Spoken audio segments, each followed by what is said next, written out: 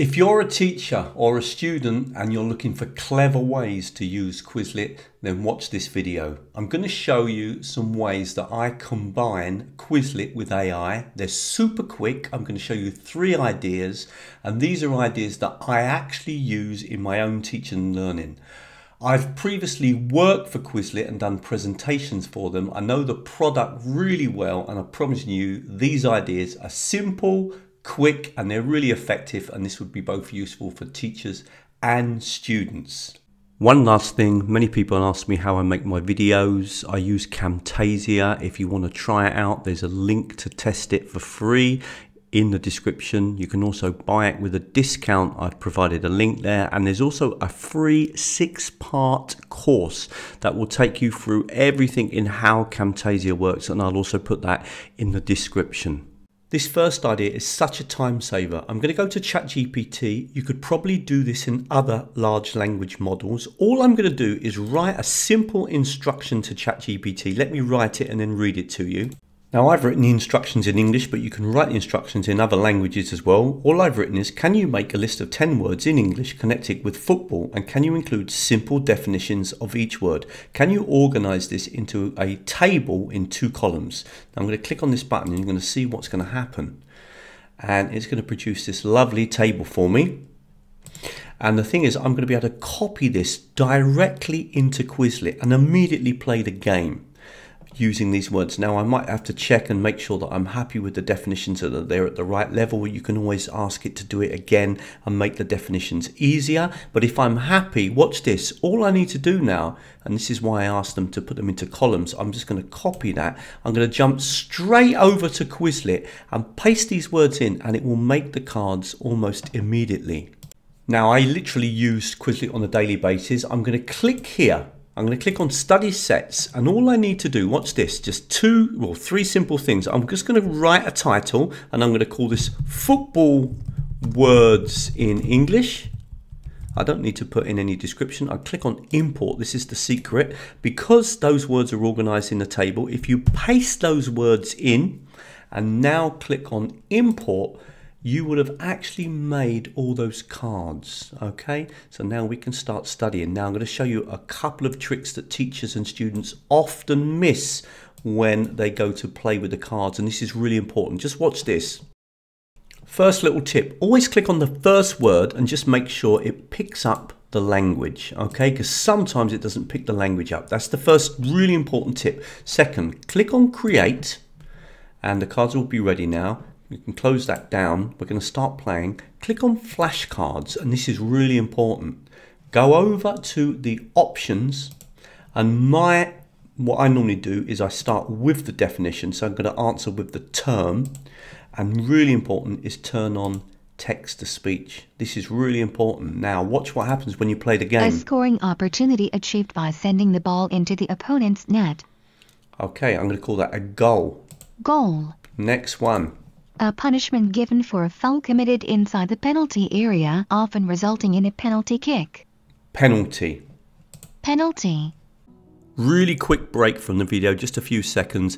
If you like what you see and you want more free videos, please come over to teachertrainingvideos.com. There's a menu system along the top that you can make use of, but if you scroll down on the first page, you'll see lots and lots of videos.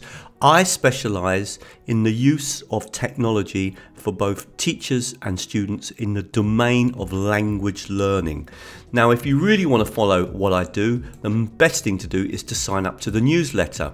If you sign up to the newsletter, you get updated with all the latest videos.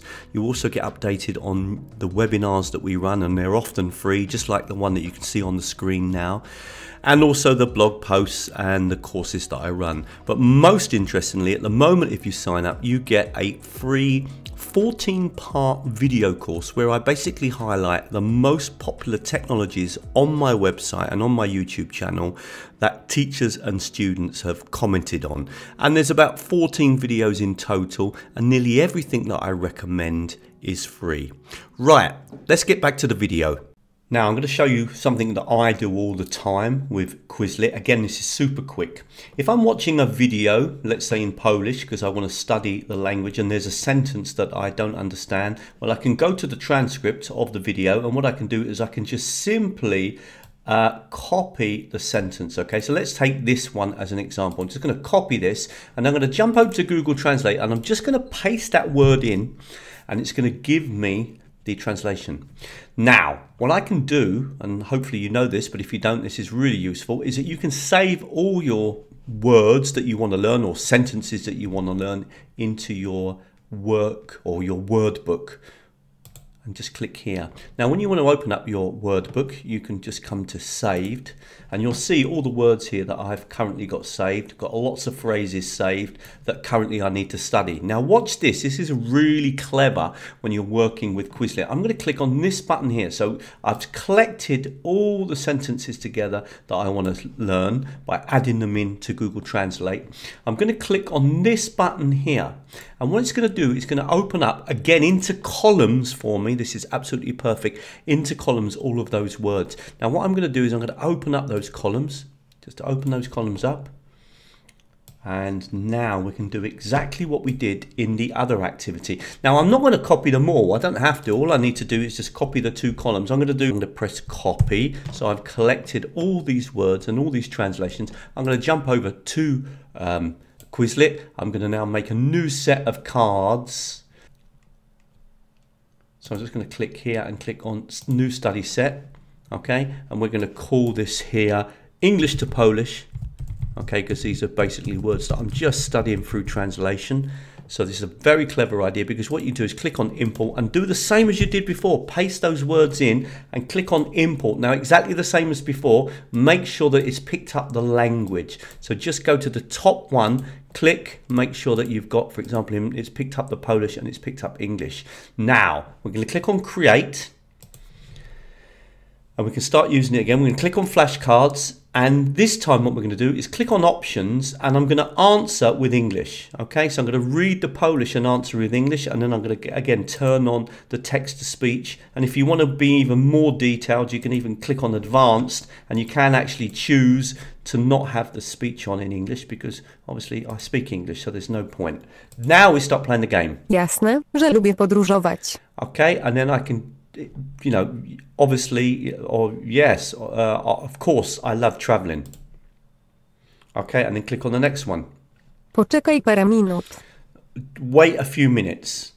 Really glad that you stayed to the end of the video and don't forget what I mentioned if you sign up to the newsletter on teachertrainingvideos.com there is a 14 part course it's completely free there are no tricks uh, in using technology in teaching and learning and nearly everything that I recommend is free if you do want to contact me about doing some training with you, perhaps with your institution, you can contact me from the website. I run workshops, I do lots of conferences.